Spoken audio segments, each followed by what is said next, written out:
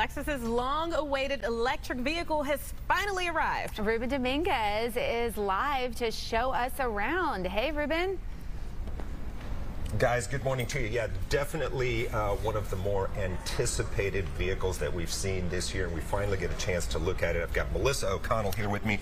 Tell me a little bit about this beautiful vehicle. Sure. What are we looking at? So this is the RZ450E. It's our very first fully electric, so it's a BEV. I know we're hearing a lot about that, so we're excited to have it here. BEV. Battery electric vehicle. Got it, okay. And what's great about this battery is it's a lithium ion battery. It's a very powerful battery and it's underneath the passenger cabin so you don't lose any passenger legroom, any space. It's very spacious inside. And you were telling me, we were talking a little bit earlier that, you know, Lexus really wanted to make sure that it's a Lexus first. Correct. So not meaning it's the first Lexus that's a battery electric. It is.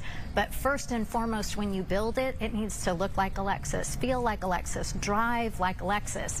It just happens to be all electric. And they did that. When I drove Well- it, it was very impressive. Well, hop on in. Let's all take right. A, let's take a Are you going to be our driver? I can be. be our driver. Even, even though I'm not going anywhere, I'll be your driver. It'll feel like you're going somewhere. I love this. It looks fast.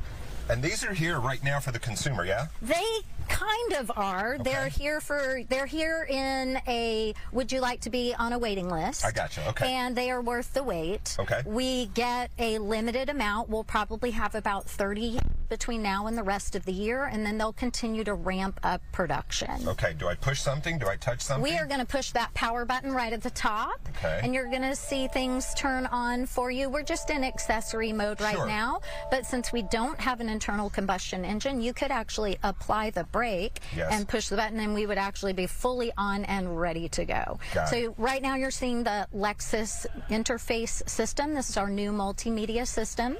We looked at that a little bit earlier, and click on the arrow at the top left corner of the screen, and you'll open the new Lexus Maps. Okay. And this has Google points of interest. It's a cloud-based system. Okay. It's going to update constantly. Actually, twice a month, the cloud resource is updated. And I like the fact that technolo- the technology is your specialty. So when somebody buys a vehicle, they're going to get actual a personal tutorial on how to how to how to connect everything. All right, so.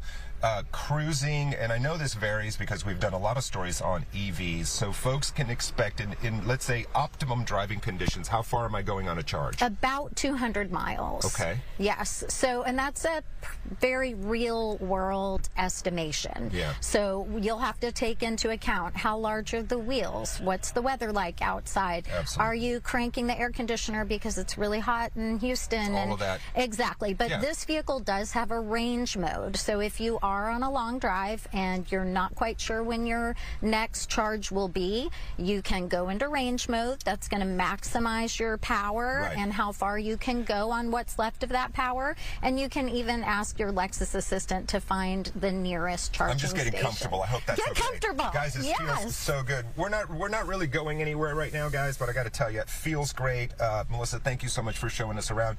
Thanks guys, for coming. The brand new Lexus EV is here. If you want one, come see your your good friends at Lexus and get on that list. Ruben Dominguez, Fox 26 News.